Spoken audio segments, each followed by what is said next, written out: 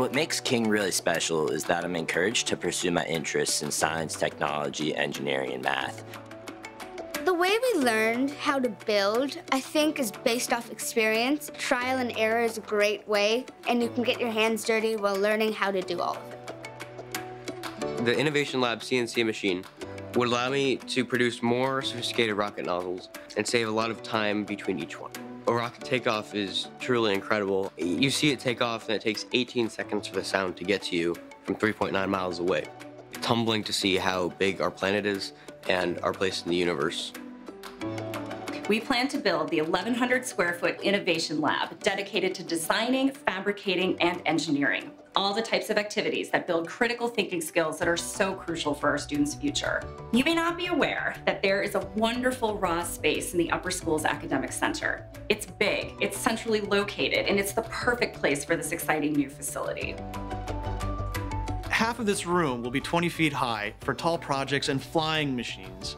The lab will be intentionally open and casual with large areas to spread out and work. Students should feel free to get messy and think big.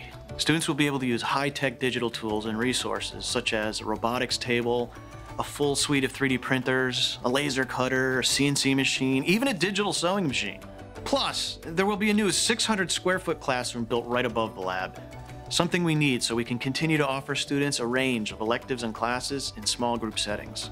This is a significant leap forward in creating, for all students, a more visible culture of making, problem solving, and exploring.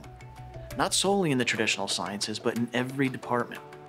Guided by faculty, King students will also use the lab to prepare for external robotics and STEM competitions, as well as King School Maker competitions. And our students deserve a space that will support the kinds of research and independent projects that will showcase their ingenuity to top colleges and universities.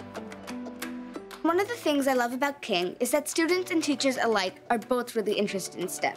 One of the things I love is programming my Lego robot with a computer to do whatever I want, or 3D printing personalized items. I think the Innovation Lab is a great idea because it will encourage more people in the middle school and the upper school to use their creativity. Since our world is based on technology, this would really be helpful. We're actually 3D printing a prosthetic hand to donate to a kid who was born without one. And I'm also working with other students to build a robot and a drone.